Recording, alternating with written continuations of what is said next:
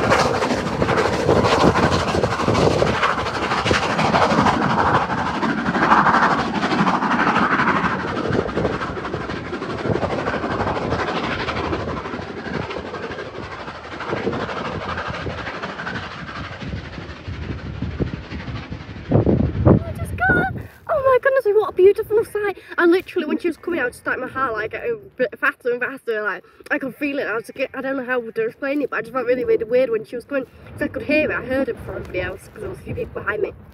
And I heard it, I could sense she was coming. And because I decided to put a camera behind me this time, I got that already. And I knew she was coming, so I was already in my position. I was just so excited when she was coming. I saw her coming. She, just what a beautiful, beautiful she was.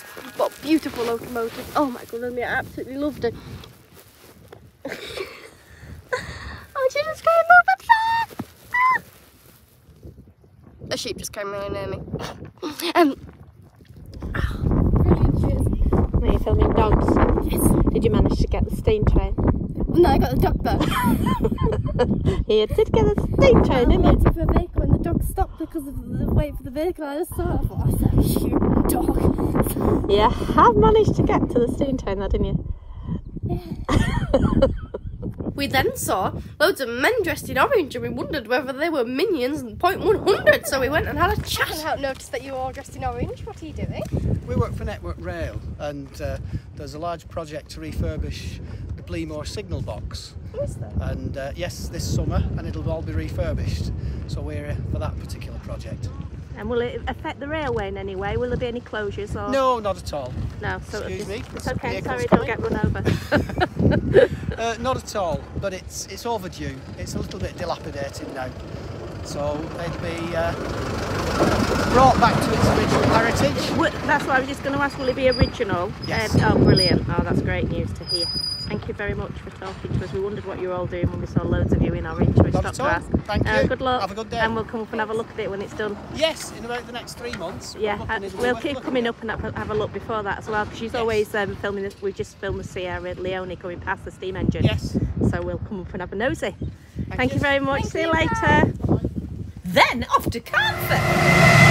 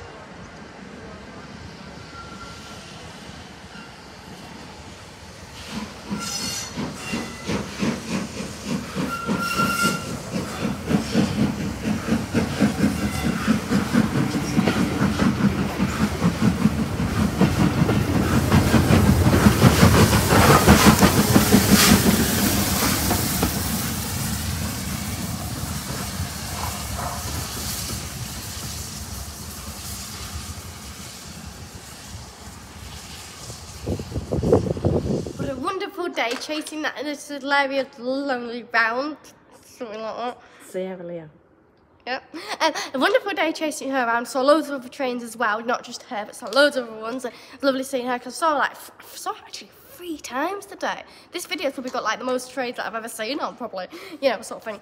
But I've also got something else that happened today. When I was coming here to Carnforth to see um, her last time today, I saw a man who was reading this little booklet, which I'm in, which has this advertised inside of it. So I went up to him and I said, I'm performing it, um, it because it's a Fringe Festival, so he's reading the Fringe Festival catalogue. So I'm performing it, so I gave him a little business card, and I just thought I'd show you these leaflets, which I designed myself, which I must say I'm really proud of. I designed them myself, um, and I'm going to be performing from all the greats, from Freddie Mercury to Elvis to Charlie Chaplin to uh, Bob Foster, every single person. And there is also a theme that they are actually dead. Um, and, and, you know, and there's a reason why those two aren't dead, but you have to come and watch that to find that out actually. I shouldn't really be telling you all this because you have to come down and watch this with me performing all these things because it's going to be a wonderful, wonderful night. It'll be the best five pounds you've ever spent, trust me. It'll be an absolutely wonderful night. So, and I'm actually going to give you a little taste. I've decided.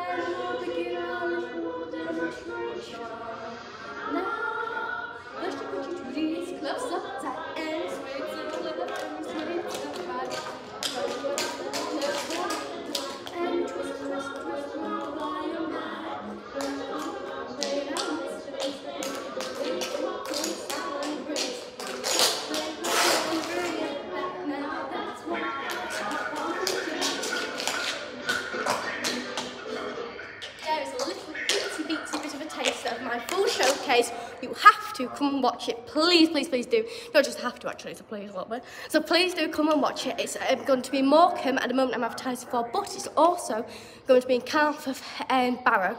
So those will be a bit more of a later date, but I've, I've started advertising Morecambe because to be honest with you, I haven't thought past Morecambe yet. And my mind is on Morecambe at the moment, so I will be performing them as well. But please, one night only in Morecambe, please make sure you come and watch. Thank you for watching this video. Uh, bye!